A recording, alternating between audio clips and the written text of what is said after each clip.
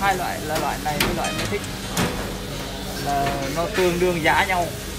Rồi, thì trước màn hình chính là thuốc của hãng hợp ký có tên là Tờ Mai, chuyên dụng cho công tác là phun, ngăn ngừa mối cho những cái công trình xây dựng. Thì loại thuốc này đó, thì chúng ta là phun trực tiếp lên cái nền đất cũng như là nền bê tông lót trước khi chúng ta đổ cái sàn hầm hoặc là cái nền trệt của công trình chúng ta.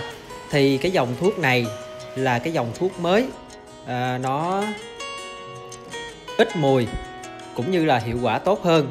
À, đối với những cái dòng thuốc trước đây thì cái liều dùng của nó đó loại 200 xc đó thì nó tiêu hao là từ 6,25 đến 12,5 ml thuốc trên cho 5 lít nước sử dụng cho một mét vuông. Rồi thì sau khi chúng ta là phun xong rồi đó thì chúng ta sẽ tiến hành là đổ bê tông phủ lên. Thì ở đây á, là một cái công trình à, biệt thự được thi công tại quận Tân Phú. Thì à, ở đây chính là sàn hầm. Thì sau khi phun thuốc xong sẽ tiến hành là đổ bê tông lên. Đó. Rồi, em Chánh xin chia sẻ đến quý khán giả cùng theo dõi. Rất cảm ơn và hẹn gặp lại vào những video chia sẻ lần sau. Xin chào.